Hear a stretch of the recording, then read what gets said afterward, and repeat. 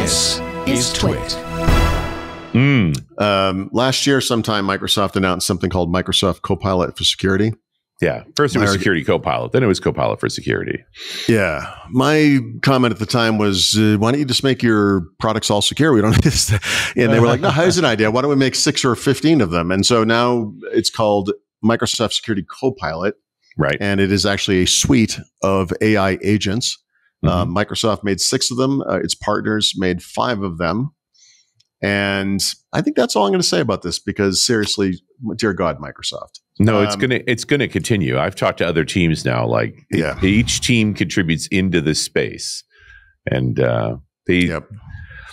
I got to say, from an administrative perspective, this is really interesting because most admins aren't full time security people and don't have a full time security person. They put on the tinfoil hat once a No, month. I- I- yeah, no, you're 100 percent right. I, th- th- uh, Leo said something earlier, and I, I don't remember exactly what he said, but it, it was, and I said, well, we're going to talk about this kind of thing later, and it was something Mhm. about writing an AI, and I, and I think part of the the resistance to AI is that people have these kind of, you know, the egos about, and they're, they're like, I am. I am the person that does the writing if I'm a writer, or the coding if I'm a coder, or Mhm. The adminning if I'm an ad, whatever. Oh. And um, whatever that word is. Uh, but yeah, the truth is we're all good at things and we're all not so good at other things. Mm-hmm. And, you know, if, if you kind of accept the notion, I think it's correct that AI ultimately will save you time.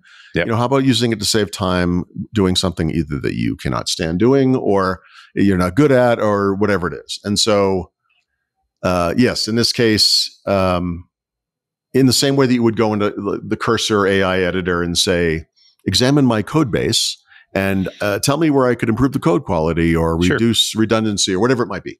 You could do that with security, look at my environment, and then have it come back and say, okay, well, Bob over there doesn't have 2FA going or, you know, whatever it might be. Right. Mhm. And so, yeah, I mean, Well, It's and we've done this show on Run As where it's exactly that. What's the bit most pressing? You know, your view of my Azure tenant. What's my most pressing security risk? What should I address now?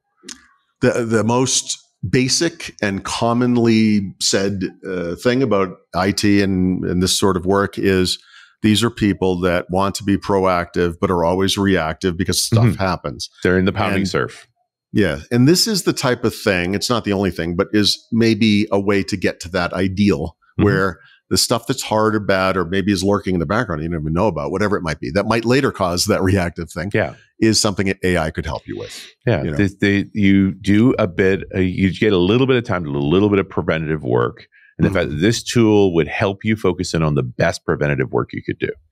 Right. So maybe the pounding surf subsides a bit, and you have a little more time. Yeah. So the the non AI version of this that I think anyone, if anyone has ever done or is right now doing any kind of admin IT pro type work, is the the best practices um, work that Microsoft used to build into its management consoles and probably Mhm. still does. Right. So you have this kind of list of things that you can go through manually and say, well, okay, does everyone get to a And you're like, check Mhm. green, but you know, you know, but now this is something that will do it for you and uh, not not that it will necessarily set everything correctly, but rather that it will come back with that report, like you were saying, and say, "Look, this is what's wrong.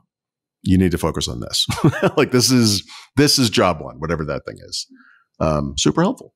Because Mhm. before, you know, the in the pre best practices era uh, era, uh, Microsoft had best practices, but they were written in books or they were written in documents, and Mhm. you know you would have to as the admin like, all right, you know, and then they built it in the product, and now they're building it into AI, and Right.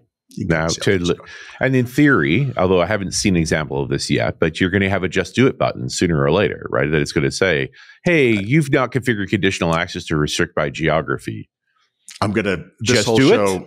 This whole show is going to culminate in my second app pick, which is what you just described, but for developers, because one of the choices you get when you use Copilot, uh, GitHub Copilot, or the uh, Cursor AI, whatever it is, uh, is this rewrite this, and then it shows it to you, and you can look at it, do it.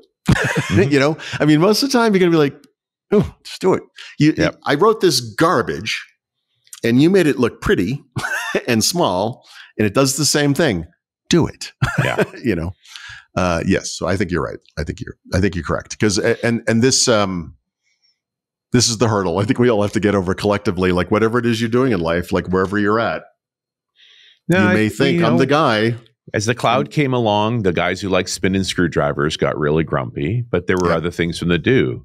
And as Exchange Online became obviously the better way to go, and we moved all our work, our Exchange workloads. Those that those Exchange guys are still working.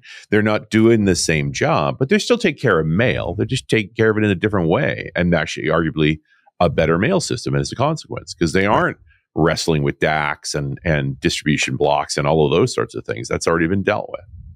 Yeah, and if you were actually that exchange guy, God help you. Um, you know, your life consisted of two to three year cycles where you spent that whole time doing whatever migration and fixing all the problems, and they were like, Mhm. "Eh, "Time to go to do, do it again." Now it's time for know. the next version. Yeah. Ugh, Thank God they're you know, only every three years because that's Yeah. how long it takes to get it stable. Exactly. Hey, it's me, Leo Laporte. I hope you've enjoyed this little snippet from Windows Weekly. If you want to see more, and want to catch the whole show, you can subscribe in your favorite podcast client or visit our website, twit.tv slash WW. And of course, there's links right below me.